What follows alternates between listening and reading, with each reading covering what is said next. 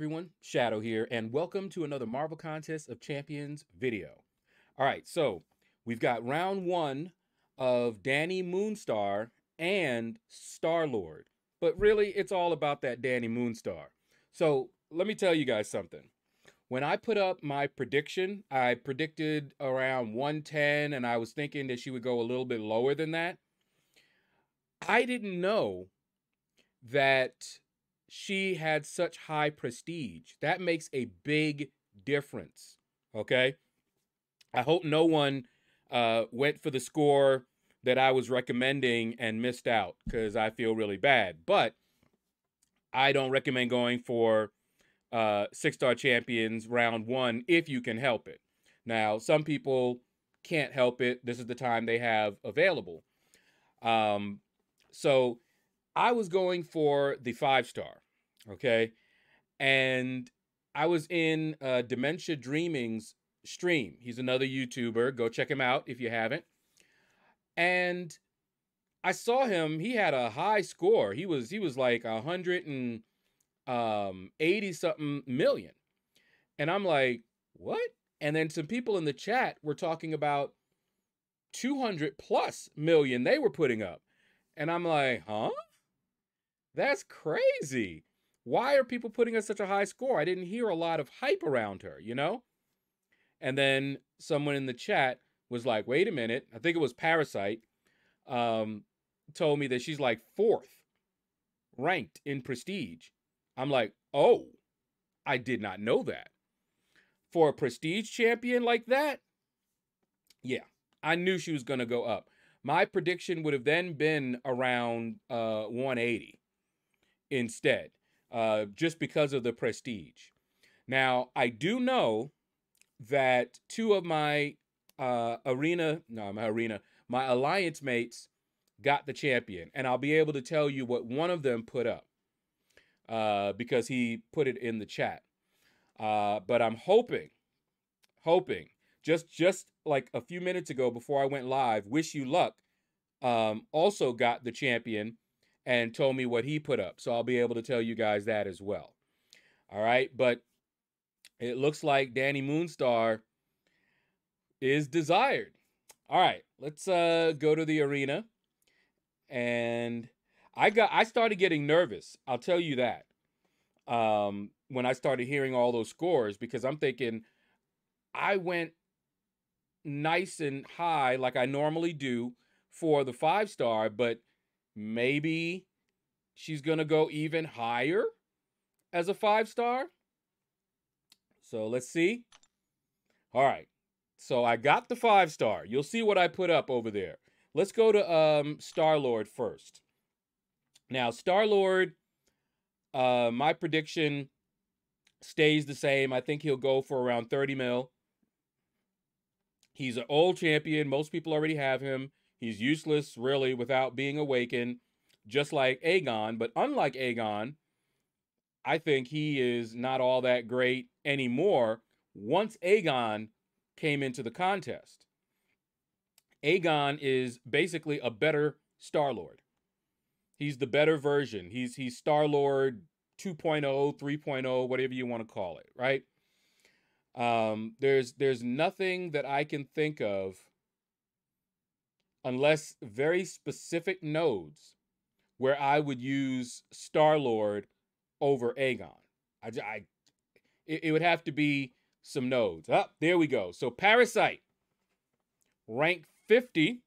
Congratulations for that Star Lord. Um, I forgot. What did he say? What did you say you put up? Hold on, let me see. I still have the uh, chat up here. So I don't know. Let me see. Da, da, da, Can't remember. Yep, you said you always go rank uh, round two for the uh, featured, which is pretty much what I always recommend because I'm not trying to uh, grind and miss. Okay, I'm not seeing it. So you can leave a comment and uh, if you see this and and let us know what score uh, for the basic got you that um, Star Lord at 50, rank 50, but it, it's bound to be pretty low. I, I know it's pretty low. All right, uh, let's see what else we got. I remember when Star Lord was the GOAT, especially for Labyrinth of Legends. If you had a Star Lord, that was what was going to take you through Labyrinth of Legends. You were going to spend way less uh, to get through Labyrinth of Legends. And I could not get him. Then I got him, but I couldn't dupe him. And at that time, there were not, you know, easy ways to dupe your champion. You know, you didn't have, uh, you know, like right now, I have like five six star awakening gems. I didn't have even one generic awakening five star.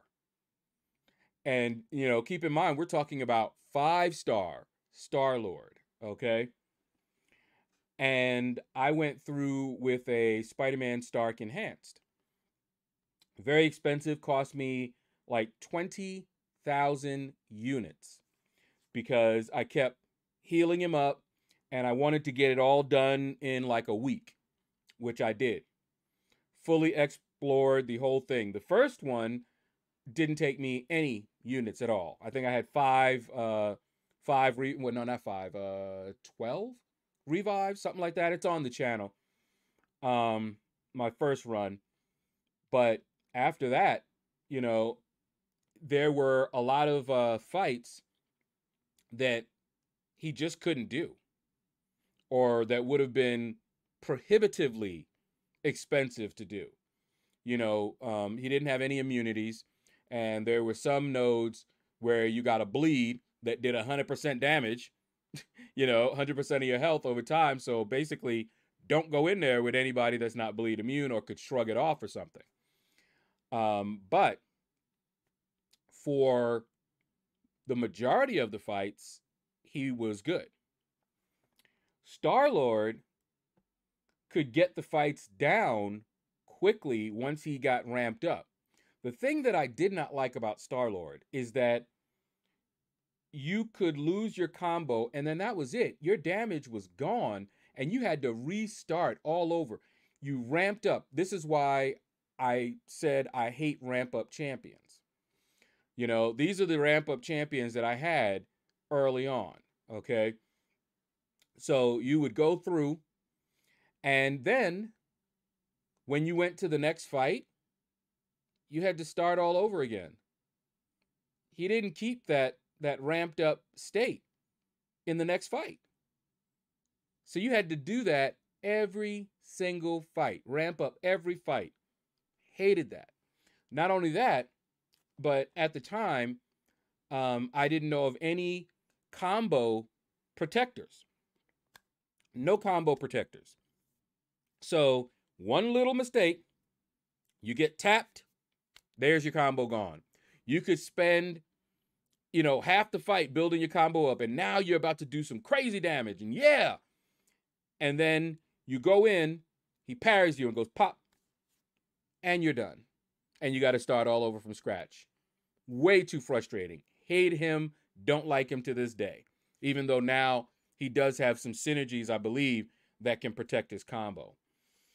But Aegon came in. Aegon, as I said, is a better Star Lord. And he keeps his combo from fight to fight. And he builds up. And once you have him built up, he stays built up. Not only that, but he can maintain the combo after he dies. So what I mean is in the fight, you build up, say, a 50 uh, hit combo. You can quit the fight. And you see you keep your 50 hit combo and go back into the same fight with a 50 hit combo that you're not going to lose. Basically, you bank it, save it, and you have it for the rest of the quest. If he dies, it doesn't matter. Okay? I Love that.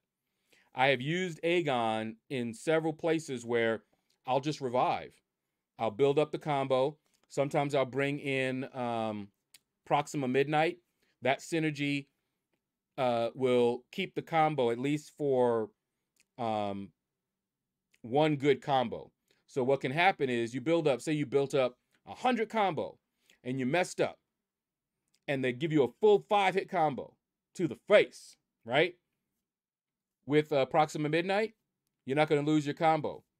You can pause it, quit the fight, bank it, go back in. Okay? Much, much better than Star Lord. But people still want him. Uh, so congratulations to everybody that that uh, got him. He's still going to be good for Arena at the very least. Um, so yeah. All right. Now, Dani Moonstar. There it is. Now, let's see who got this one. A lot of people were after this, but I only know I know two who got it and Dementia Dreaming I know he was going for it, but I do not know if he got it, but I'm pretty sure he did. Um, because someone else told me what score they had and they got it, and it was less than what he put up. So, Laser John, congratulations. All right. And it actually wasn't that high. I could do it without units. But there we go. So Saj or Sage, I'm not sure how to pronounce that. Congratulations. 50. He put up 200 million. And you see he ranked 50 at 200 million. Okay. Let's see. Toothless horse. That's what I feel like after I just had my tooth pulled. Hey, it's Kevin. Congratulations, man. There we go. Dementia Dreaming. Now, see, Dementia Dreaming, I think he ended at um, around 190 million, and he got 68. Top 100. So that should tell you guys something. I wasn't actually that far off with my prediction, but I would have predicted higher had I known that um, she had such a high prestige. But I'll give you what my um, guess is for the cutoff based on the lowest cutoff that I heard. Max, congratulations, man. Aren't you happy that it's now top 400? 106? Ooh. I know you happy, boy. All right. See who else. There we go. Wish you luck. 124. And he told me he put up 100. Let me see. 169.5 million. Okay. 169.5 million. And he's at 124. Remember, this is top 400. An angry elephant, you ain't angry today. Aditya. Congratulations. Let's see. Maestro. Nebuchadnezzar. Let's see. Yankee for life. Congratulations. That's the other alliance member who got the uh, champion. They posted it up. Now, whereas Saj told us he put up 200 million, we don't know what uh, Yankee for Life put up. But I know that it's less than 169 million. Thanks to uh, Wish You Luck. Baba Yaga. Violent Korean. Mm. I've been watching a lot of uh, uh, true crime uh, stories um, Rotten Mango, uh, she's done a lot of different Korean uh, crimes that you don't really hear a lot about here. Wow. Things are rough. Let me tell you. Okay, so seeing as uh, Wish You Luck put up 169, and remember I said that I would uh, predict like 180 uh, had I known the uh, prestige, but look at this. We've got 200 more spaces. So I'm thinking, you know, I said like 110. I don't know if 110 might be uh, uh, very close to the cutoff, but that was my prediction. Uh, but I'm thinking maybe 130, 140 would uh, be the cutoff uh, for her. So not not that uh, not that far, not that far at all.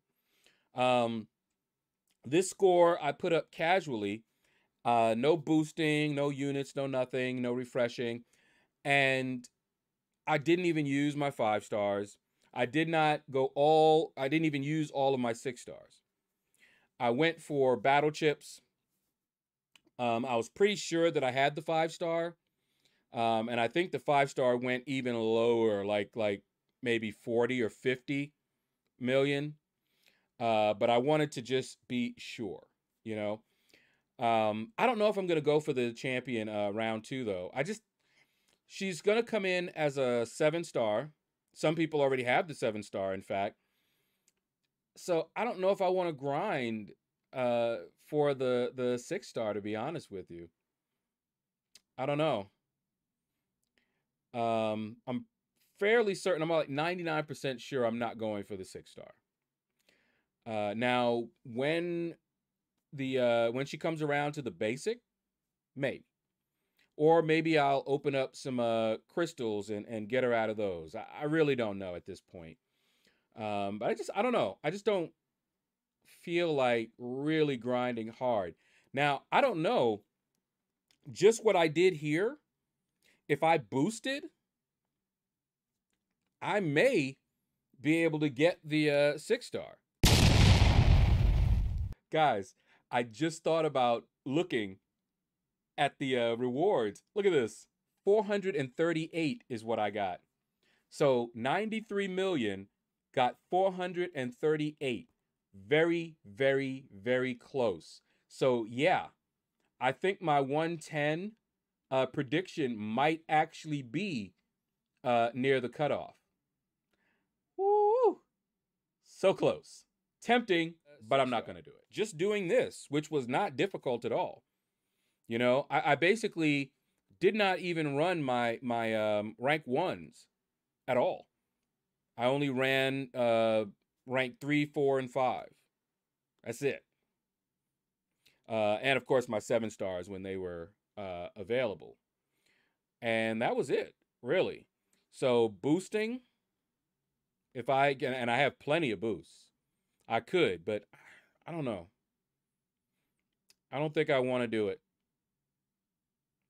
I just may wait until the uh, basic, and then if I don't have her by then.